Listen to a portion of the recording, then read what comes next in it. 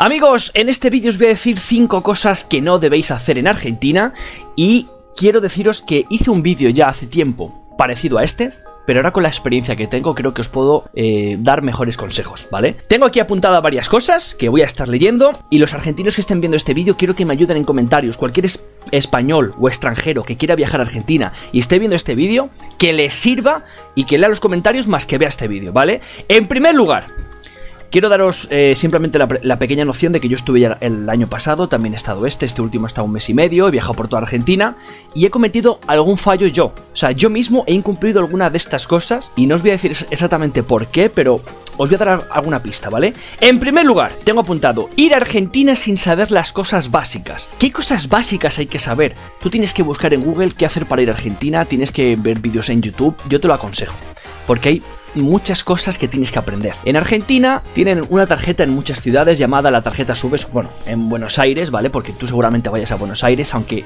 todos los argentinos dicen que Argentina no es Buenos Aires, y es cierto, pero es la ciudad más grande que hay allí y seguramente la quieras visitar. La tarjeta SUBE es muy importante, es con la tarjeta con la que tú pagas el metro o, eh, el subterráneo, ¿no? El, el subte, hay muchos colectivos o autobuses, etcétera. Muy importante. También, por ejemplo, el tema de que no puedes estar más de tres meses, porque tú vas como turista seguramente. Tú quieras visitar Argentina y vas como turista, ¿no?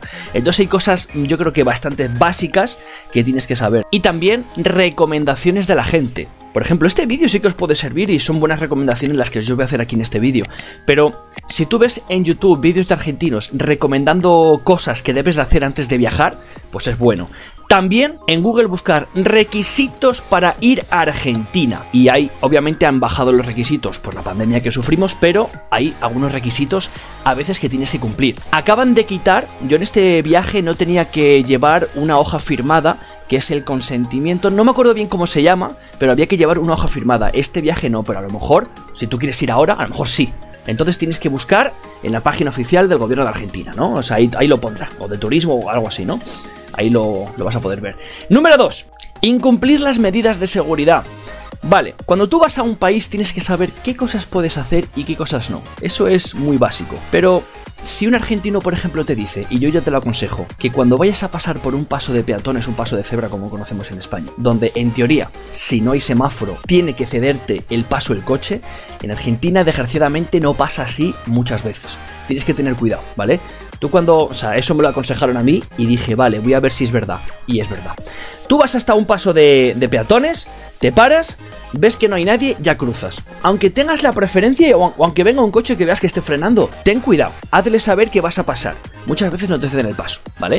Eso es una cosa negativa, ¿vale? Yo siempre que estoy hablando de cosas positivas, de que hay que viajar a Argentina, de que estoy enamorado de ese país, sí, estoy enamorado de ese país, pero yo creo que la gente también espera que yo cuente alguna de las cosas negativas que tiene Argentina como cualquier país del mundo, y esa es una de ellas, ¿no? Eh, esa es una cosa que debería de cambiar desde mi punto de vista. ¿Vale? No cambia que Argentina no es un, país maravilloso, que yo os hable de alguna cosa que hay que tener cuidado, pero hay que, hay que cambiar eso, ¿vale?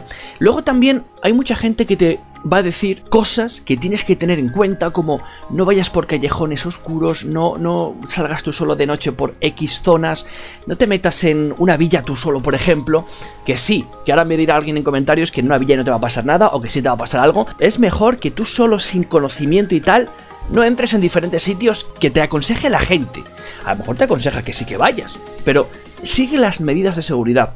Hay una que yo no seguí. Yo fui a un lugar, no voy a decir a cuál, porque es algo que ya me estoy pensando y lo dije hace dos o tres vídeos, ¿vale? Hablé de la seguridad del país y hubo una cosa que, bueno, que tampoco me sigo pensando si contarla o no. Me dijeron, Marshall, no hagas esto en este lugar. Yo dije, vale, se me olvidó, lo hice y tuvo consecuencias, ¿vale? Eh, estoy aquí, estoy grabando este vídeo, pero tuvo consecuencias, me, llevé un susto, ¿vale? Tanto yo como algunas personas que iban conmigo, nos llevamos un susto por no seguir las medidas de, seguridad que a veces que, que no son tan estrictas, que es cosas muy básicas, cosas muy básicas. Os voy a decir os voy a decir una para que los argentinos que estén viendo este vídeo sepan qué hice, más o menos sepan qué pasó. Yo fui a un lugar en el que me dijeron, intenta no ir vestido con ropa cara o con zapatillas caras y vete por esta parte, no vayas por esta. Pues yo fui con ropa cara y por una zona donde yo no tenía que haber ido. No nos dimos cuenta ninguno y, y no me pasó, o sea, no, yo me fui con todo lo que yo tenía encima, ¿vale? Quiero dejar claro eso, pero bueno, no seguí un poco las medidas de seguridad y si yo contara esto... Hasta ahí, ¿vale? Hasta ahí puedo leer, ¿vale? Hasta ahí.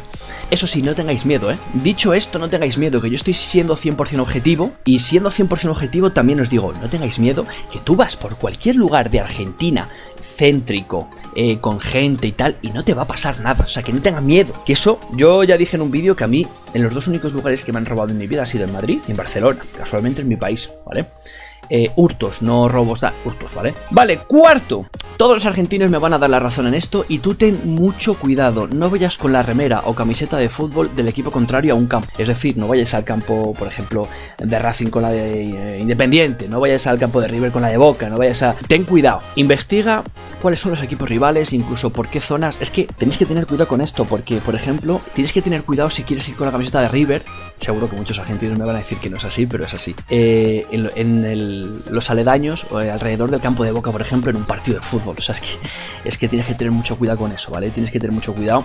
El fútbol es una pasión allí muy grande, pero también tienes que tener mucho, mucho cuidado, ¿vale? Y siempre un consejo que yo te doy es que vayas con toda la gente, que te diviertas con, toda la gente, que los argentinos siempre te defienden, ¿vale? Siempre, si hay algo eh, que está mal, o si hay algo que es inseguro, o que si pasa cualquier cosa, te van a ayudar, ¿vale? Así que siempre con argentinos, ¿vale? Siempre con el grupo, con la familia, con los aficionados, ¿ok? Pero es muy básico esto, esto es una de las cosas más básicas que tienes que tener cuidado. Yo creo que todo el mundo se da cuenta de eso, así que bueno. Y quinto, un fallo que cometí yo, y pido perdón. No puedes estar eh, solamente uno o dos días en un sitio, me explico. A mí me dijeron, en gran fallo, ¿vale? Una persona que me ayudó un poco a organizar el viaje, que yo por ejemplo tenía que ir a Córdoba máximo tres días. Bien, uno de esos tres días llovió desde por la mañana hasta por la noche. Y me di cuenta de que en Córdoba hay muchas cosas para ver, igual que en Mendoza, igual que en muchos lugares donde yo he estado poco tiempo. Incluso en Calafate estuve cuatro días. Eh, mañana, tarde y noche con buen tiempo, grabando sin parar, visitando, durmiendo 5 horas y no me doy tiempo a ver todo. Por ejemplo, está el Chaltén al lado y me arrepiento de no haber ido. Está eh, la excursión por el Perito Moreno andando y me arrepiento de no haberla hecho. Mi consejo, que si vas a Argentina no intentes ver eh, en uno o dos días esto, luego dos días esto, luego dos días lo otro. Sé que te va a tentar mucho ir a las cataratas del Iguazú y al Perito Moreno, en dos días te pensarás que ves una cosa y luego otros dos días lo otro, pero te vas a dejar cosas por hacer. Entonces, pide consejo también a un argentino cuánto tiempo tienes que estar ahí o incluso, si tienes suerte, si escribes a turismo, a lo mejor ellos te pueden aconsejar, ¿vale? A turismo o a alguna agencia de viajes o lo que sea, le puedes preguntar también, supongo. ¿Cuántos días te, te recomienda? Eh, yo os digo, a mí la persona que me dijo que tres días en Córdoba, encima... Ah, y mirad el tiempo también. Mirad el tiempo porque yo tuve la mala suerte de que no mire el tiempo y justamente voy a Córdoba, llovió un día entero, voy a Mendoza, llovió un día entero, voy a Calafate. No, en Calafate no llovió, tuve esa suerte. Pero en Buenos Aires también, una, cuando quise hacer una excursión en Buenos Aires llovió un día entero. En Bariloche me llovió un día entero también. Entonces tuve ahí un poco de mala suerte por, por no mirar el tiempo. Así que mira el tiempo, ¿vale? Hay más cosas que no deberías hacer en Argentina, al igual que en España, os podría dar bastante buenos consejos sobre si quieres también turistear venir a, España a ver algunas cosas durante un mes, durante tres semanas. Y luego, por último, deciros que yo no puedo deciros qué lugares de Argentina visitar en un primer viaje, en tu primer viaje de vacaciones. Porque, en primer lugar, porque la gente se enfadaría por no decir otros lugares, pero sobre todo porque es depende de tus gustos. Porque sí, tenemos Bariloche, eh, las Cataratas, el Perito Moreno, la ciudad de Buenos Aires que es súper grande, Mar, del Plata, tenemos en Mendoza en la Ruta del Vino, eh, tenemos el norte Salta Jujuy, que seguro que te han hablado también de eso.